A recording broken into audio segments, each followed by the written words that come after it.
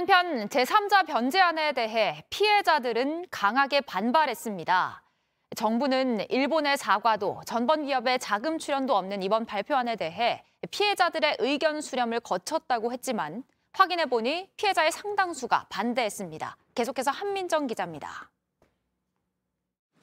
정부는 합의안을 발표하면서 피해자 측의 입장도 반영된 결과라고 강조했습니다. 또 상당수의 유족분들은 이 문제가 조속히 종결되기를 바란다는 의견을 주셨습니다.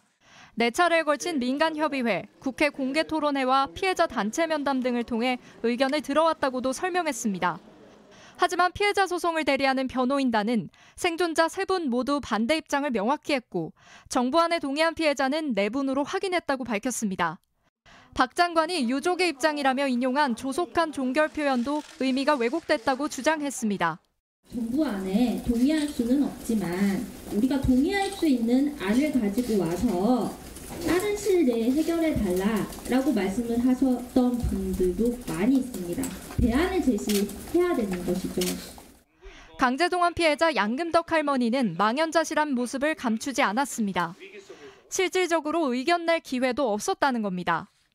다 죽고 없고 몇 사람 안 살아 있지만은 그도 노인들이라서 너무 얕뽑지 말고 이번 방안을 적용받는 피해자는 미쓰비시 중공업과 일본 제철에 강제 동원됐던 15명입니다.